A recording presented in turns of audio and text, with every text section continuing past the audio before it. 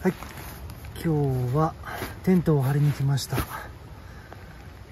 ノルディスクのテレマークです。1ライトウェイトです。重量が 830g でフットプリントです。フットプリントが結構重いのでこれはどうしようかなって考え中です。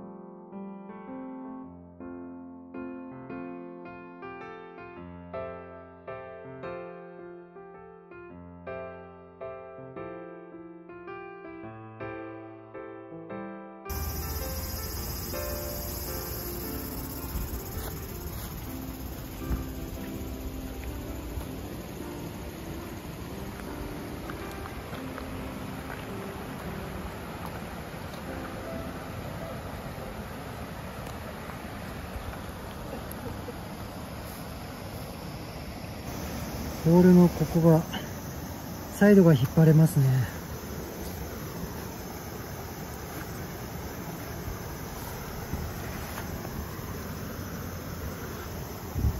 多分これは飛ばないのを防ぐところになりますね。でここか。ここも多分できんのかな。ここはまくるだけかもしれませんで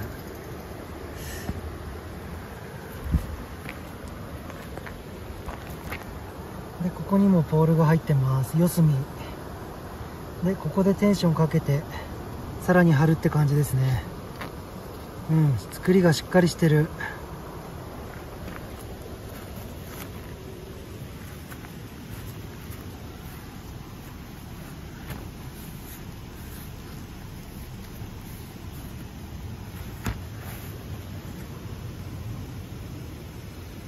ここが換気ですね。でこっち側にも。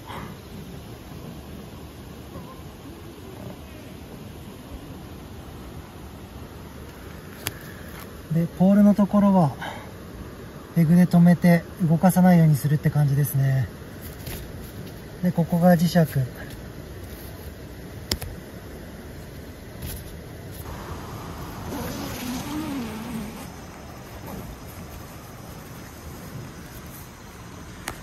この辺まで引っ張れます。うん。かなり開く。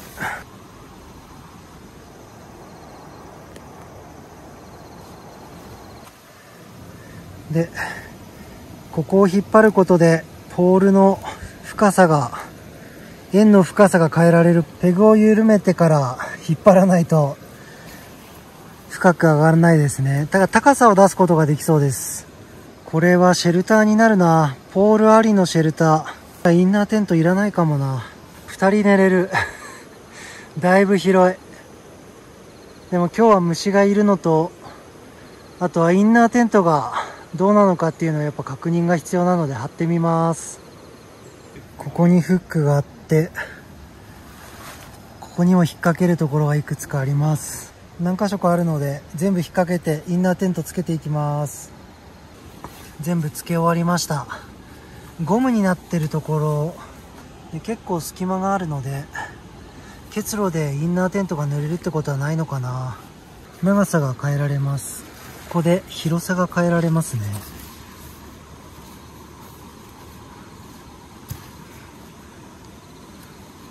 これは面白いギミックだな。あでもそれほどめちゃくちゃ細くはできるけど室内を広げることはできないですね。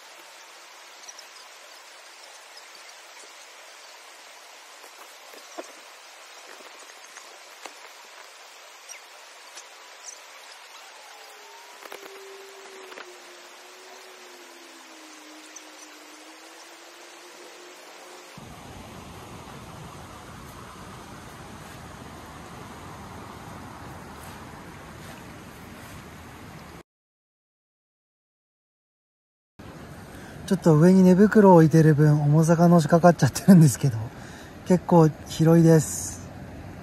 一人用で十分だな。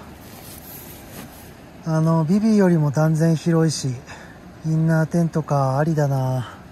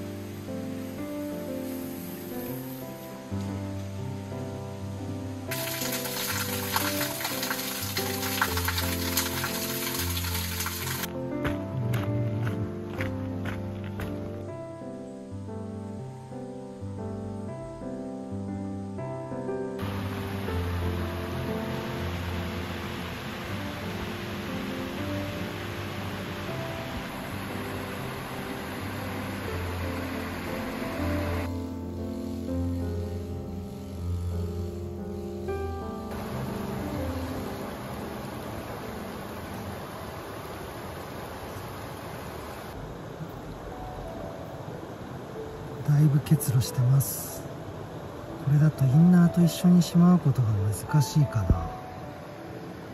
えっ、ー、とインナーテントに結露が入ってくるってことはないんですけど、えー、片付けの時に連結させてる分このまま閉まってしまうと、えー、1泊目はいいんですけど2泊目が、え乾かすことが難しくなってきます。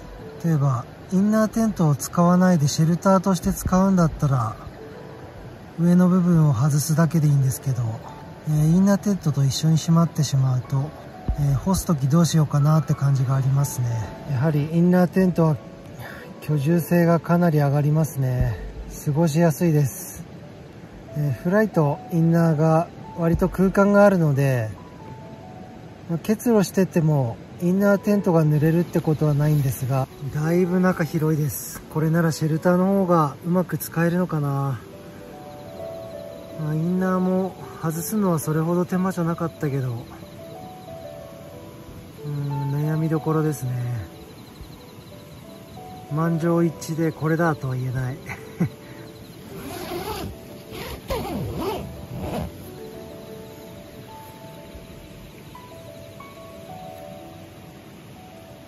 えっ、ー、と、外側は結構サラサラしてます。だから内側の結露で、この辺とか濡れてますよね。